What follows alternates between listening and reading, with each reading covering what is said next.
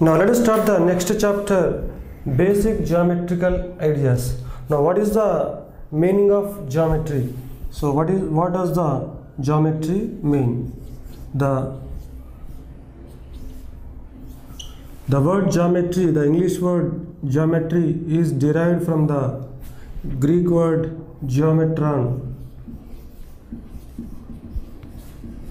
and this is obtained by the two words geo and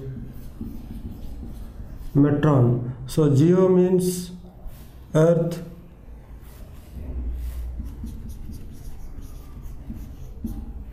and metron means measurement. So geometry is widely used to measure the lands in the ancient days and nowadays the geometry is also used in the art architecture engineering and even the cloth designing. So then in this geometry so we will learn about the line line segment point rays and triangles and quadrilaterals and the different geometrical shapes.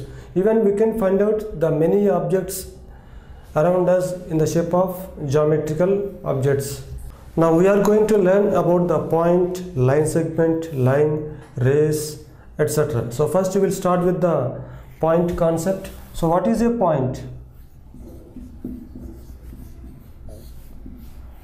A dot mark shape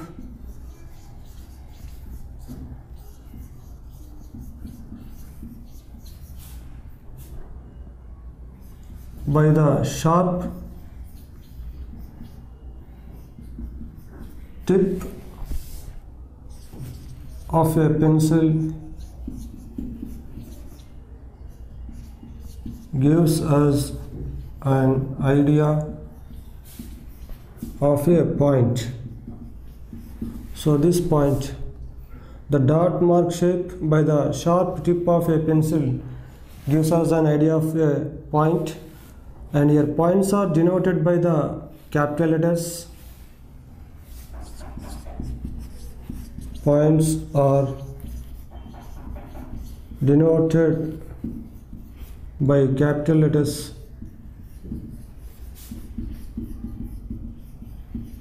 so we write this point as capital A and for example if there is another point we write capital B and here points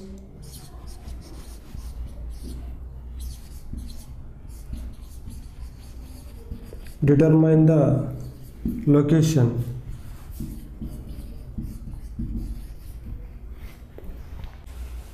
now let us define a line segment and a line so first a line segment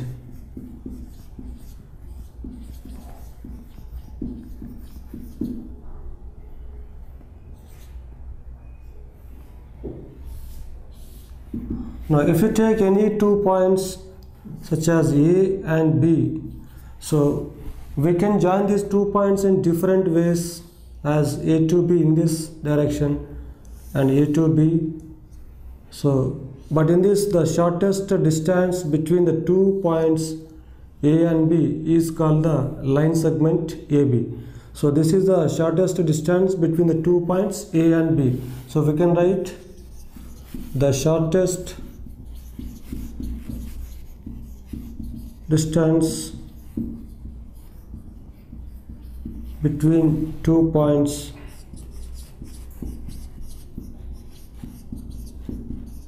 Is called a line segment.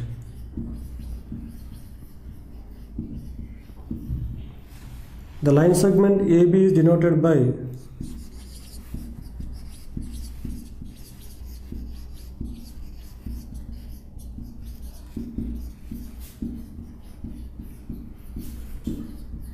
by AB line segment or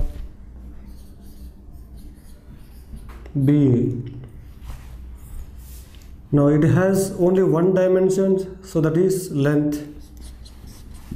It has only one dimension, that is length. but a point has no dimensions either length breadth or height but a line segment has only one dimension that is length and it has no breadth. Now the next one is a line.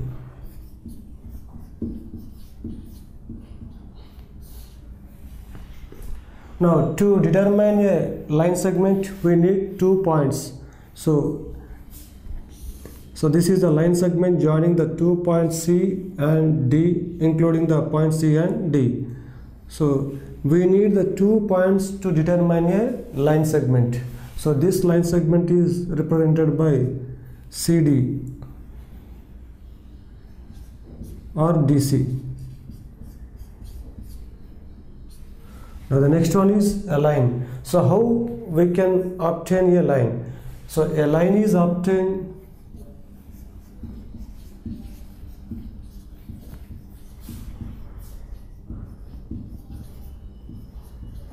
by producing a line segment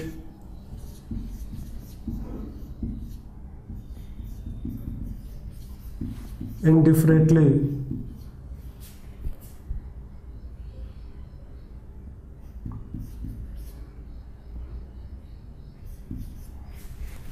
A line is obtained by producing a line segment indefinitely in both the directions.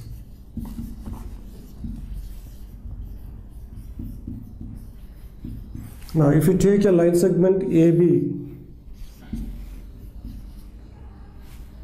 and if you produce the line segment AB in both the directions indefinitely, so then we get a line. So, to determine a line we need two points. So, here a line segment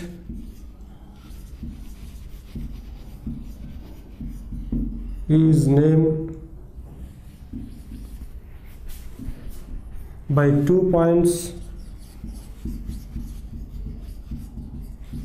on it.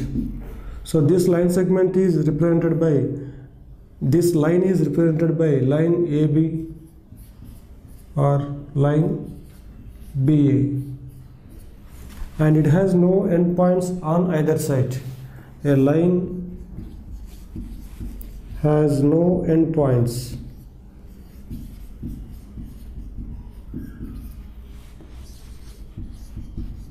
on either side but whereas a line segment has two endpoints so we can write here a line segment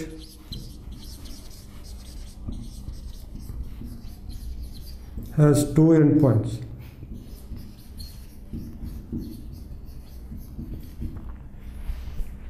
Now we can understand that a line segment is a portion of a line. So if you take if you take any portion of the line then it is said to be a line segment.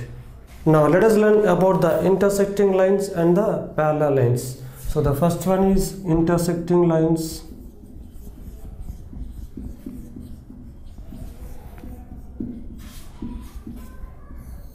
And the next one is parallel lines.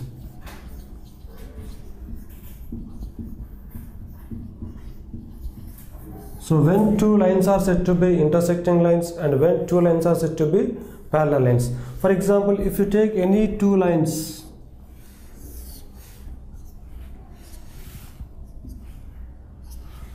Now this is the line L and this is the line M.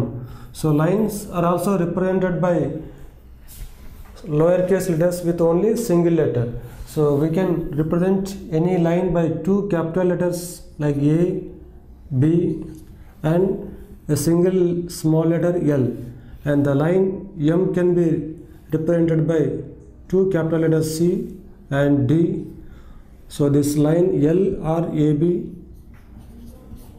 so this is line M or CD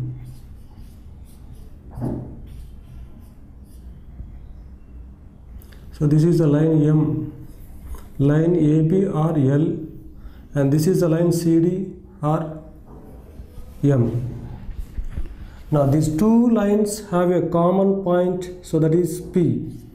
So if two lines have a common point, then the two lines are said to be intersecting lines. So now this this common point is said to be the point of intersection of those two lines. So we can write the definition. If two lines have a common point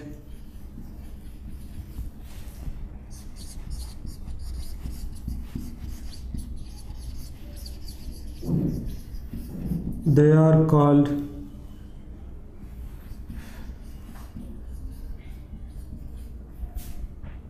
intersecting.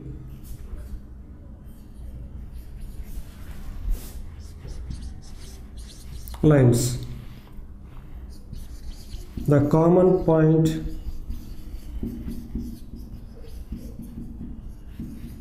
is called the point of intersection.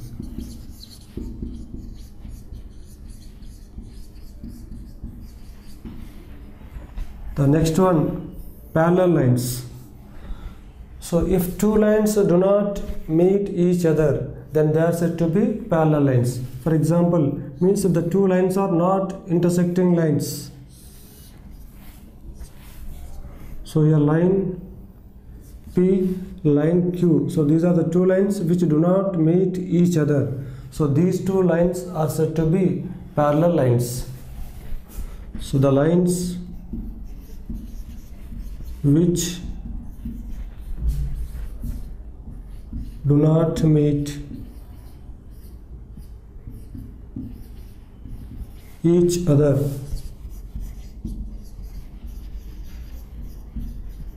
are said to be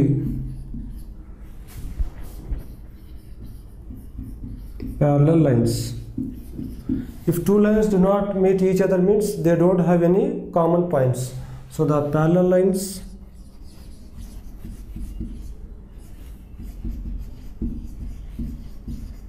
have no point in common and the distance between two parallel lines is same. The distance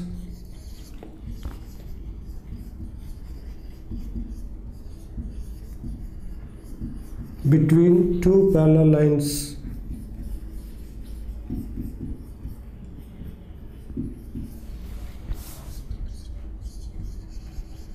same everywhere means wherever you measure the distance between the two parallel lines so it is the same distance. And we use the symbol this symbol for parallel. So if the line p is parallel to q then we write p is parallel to q. So we can write the line ab is parallel to the line cd if two lines are not parallel so then we write for example line L is not parallel to Q so we write L is not parallel to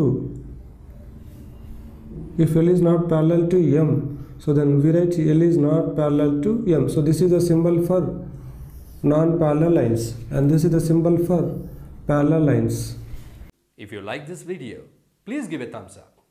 Please subscribe to our channel to get more videos on CBSE syllabus.